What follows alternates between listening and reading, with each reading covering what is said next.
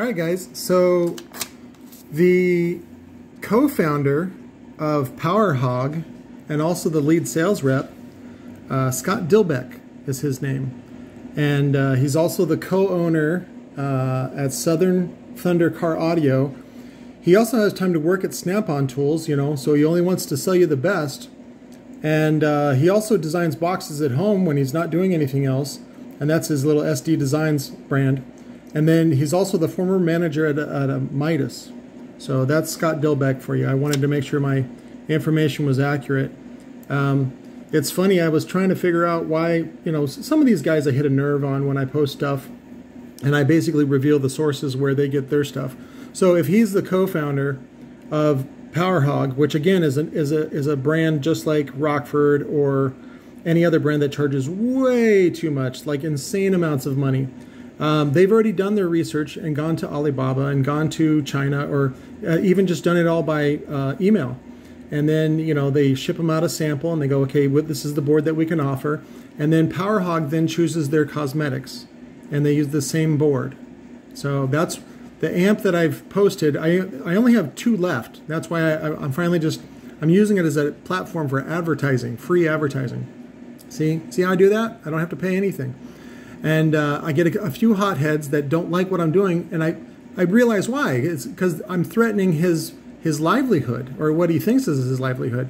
Um, personally, I think he's a little living rich uh, above his means, but he's he's a typical bro, and he's a ginger, so he has no soul, and uh, he is a he's a typical guy that just wants to be a basshead and be cool because he can't be cool any other way, and that's fine. Lots of guys have small penises. It's not a big deal. It's called the Light Switch Club. Um, I, I, I only know about it because I have a lot of guys that show up to my doors and they, they get really mad that I'm blah, blah, blah, blah, blah, blah, blah. And then they have a, a ton of reasons why I'm whatever. And then they use, they call me names, call me fat and gay and what else is terrible in the world? I don't know. Whatever. Whatever it is, that's what they call me. And I, th I think that's funny. So, but um, uh, I just wanted to post it out there that uh, Scott Dilbeck is a top-notch guy, and he he seems to have time to have all this on his resume and still find time to troll me and my little tiny ad on Facebook for one amplifier.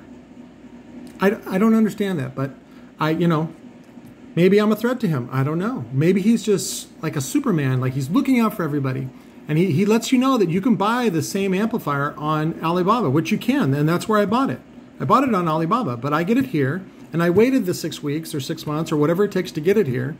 And then I test it and I videotape that testing for you, right? So I, and I leave it unbadged, right? Because if something says PowerHogg on it or Sundown or whatever, you can only sell it for as much as they're posting it. In fact, typically they only post the retail prices online.